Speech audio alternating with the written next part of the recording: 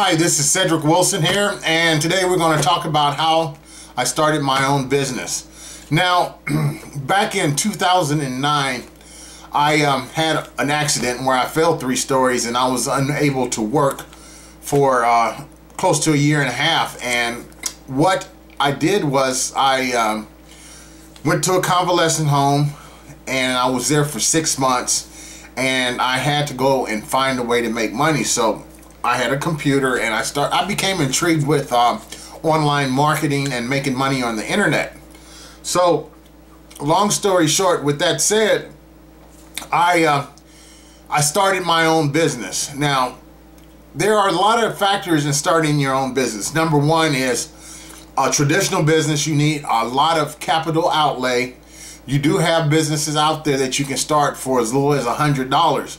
But even if you start a business for a little as a hundred dollars, there's one factor that plays into it. You have to treat it like it's a million dollar business if you want to make money.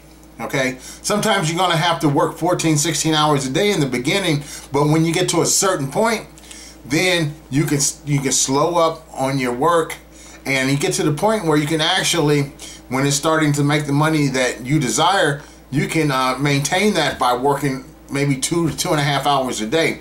But you know, it takes a little time to get to that point.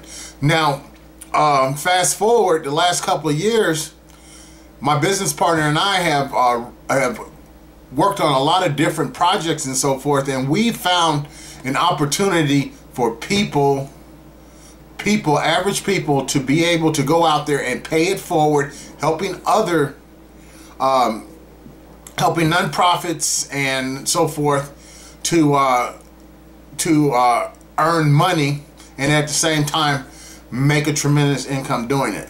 I won't get to, into that too much, but uh, there is a link below this video.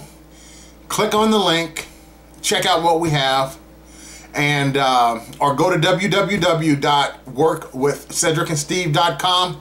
That's www.workwithcedricandsteve.com, and uh, and check out the information.